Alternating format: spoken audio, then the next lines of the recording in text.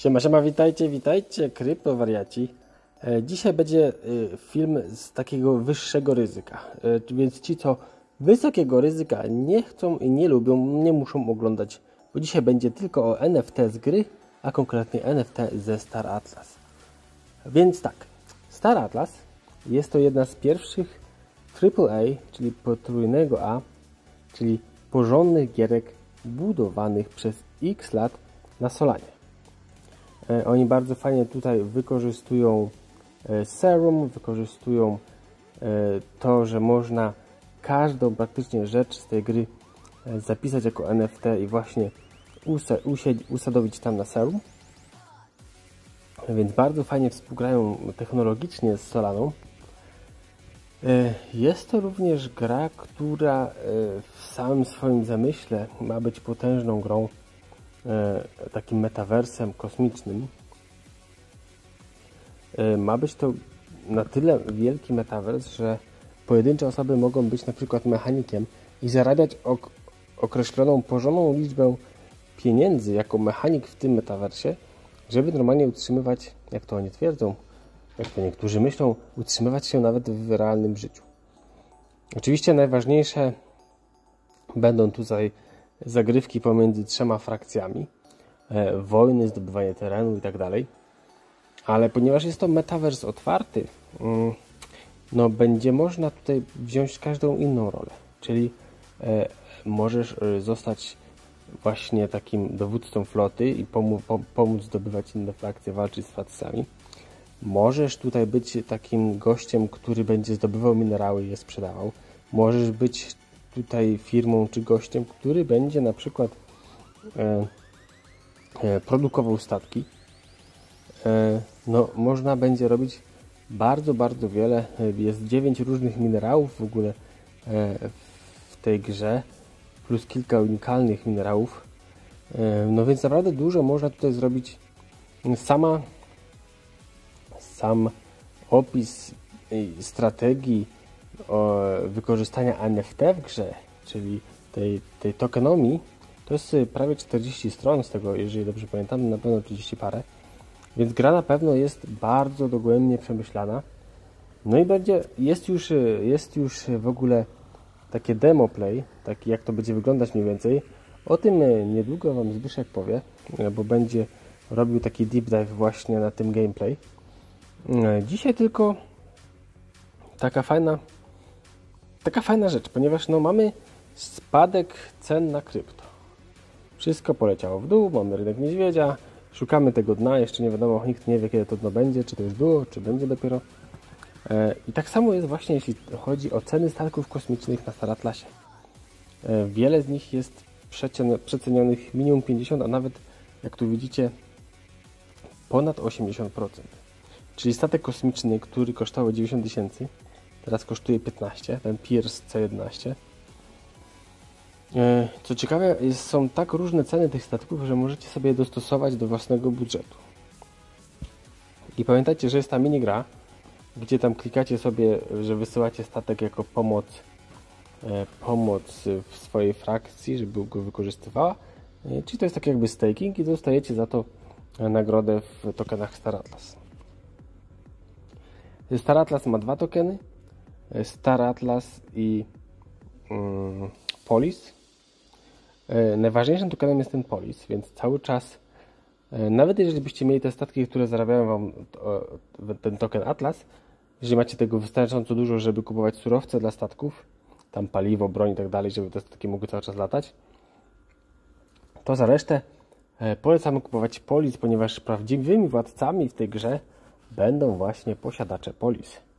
E, A jeśli to ta gra naprawdę urośnie do tak wielkiego sukcesu, no o ile to, to, to im życzymy, oczywiście, no to naprawdę e, ten token Polis może, może tutaj zdziałać cuda, tak samo jak ci, co posiadają dużo statków kosmicznych i mają jakieś tam znaczenie w tym metaversie, e, naprawdę mogą dużo zdziałać. I nie będzie chyba lepszej sytuacji niż na kupowanie czegoś, co, co spadło 80% od ceny wyjścia, czyli pierwszej ceny, jaką kiedykolwiek ktoś dostał. To, ta strona tutaj to jest w ogóle aepchia.com, to jest gilda, która się skupia tylko na Star Atlasie tutaj mają, oni mają fajną tą cenę VWAP, czyli Volume Weighted Average Price, czyli e, średnia cena e, no, tutaj wyznaczona przez wolumen sprzedaży. I tutaj macie wszystko mniej więcej poniżej tego VWAP to jest przecena. I te przeceny przez to, że mamy rynek niedźwiedzia, no są ogromne. E, I no tak jak zresztą cały rynek, rynek, rynek krypto spadł mniej więcej tyle samo procentach.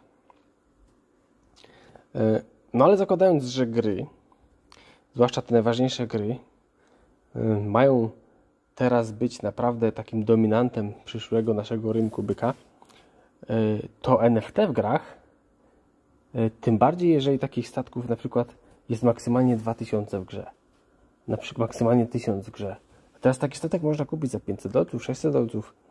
To naprawdę te statki mogą? No mogą tutaj niezłą cenę osiągnąć. Ale jak mówiłem, to jest y, bardzo ryzykowne.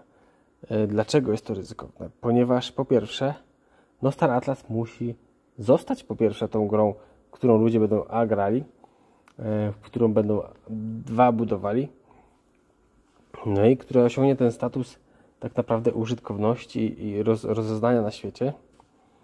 E, no dwa, musisz e, no, mieć, mieć trochę tych statków, powiedzmy, mieć trochę tego polis, żeby tutaj e, dostać jakiś zysk, a wiadomo, jest tyle innych opcji w krypto do kupowania w tym momencie, że to może być no, jedną z Twoich ostatecznych opcji. Może po prostu Ci nie starczyć kasiorki, żeby coś tutaj, coś tutaj dokupić. Mm. Aha, i oczywiście zachęcamy wszystkich do używania Solany, ale pamiętajcie, używajcie tego, tego portfela Phantom przez y, jakiś hard wallet, czyli przez na przykład Ledgera.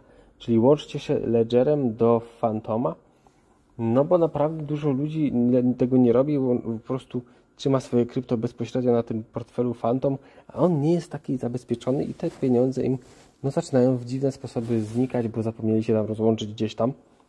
E, więc po prostu no, minimal, minimalizujmy to ryzyko i no po prostu używałem, kupcie sobie ten, ten portfel fizyczny i po prostu łączcie się przez ten portfel fizyczny, bo jeżeli fizycznie nikt tam nie będzie klikał, to nic nie będzie się działo z waszymi tokenami.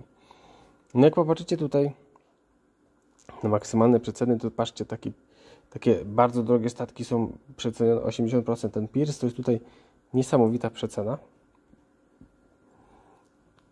Jest bardzo dużo ciekawych. Ten Fimbul Bios Erb bardzo ciekawie wygląda kosztował prawie 900 dolarów, teraz kosztuje 200. On dość dużo zarabia tego Atlasa, ten statek. Jest jednym z lepszych, ciekawszych, które zarabiają to. Mm. No i wiadomo, zależy ile kto chce zainwestować i może zainwestować w takie NFT.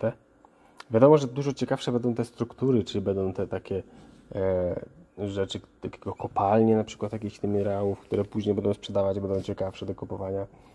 E, takie jakieś tam E, porty, nie porty, inne rzeczy. E, no a to jeszcze nie jest dostępne. To będzie dostępne pewnie później, e, no jak będziemy mieli ten rynek byka, no i wtedy pewnie będzie drogo. A że kupujemy wszystko za ten, za ten token Atlas, no to warto ten token Atlas, czy tam Polis Pro do, do gromadzić. Kupując teraz statki, te statki Wam będą gromadzić ten token Atlas, więc nie dość, że macie NFT, to te Wasze statki będą Wam gromadzić te tokeny Atlas na zakup na przykład takich portów czy czegoś tam w przyszłości. Także no, nie jest to głupia strategia. Wiadomo, super ryzykowna. No ale nie dochodzi się do jakiegoś sukcesu, yy, nie biorąc jakichś większych yy, tutaj yy, no ryzyka niestety. Bez ryzyka nie ma kołaczy, bez pracy nie ma kołaczy. Chciałem Wam tutaj jeszcze pokazać coś innego, ale chyba już Wam nie pokażę. Y, bo jest taka tutaj zestawienie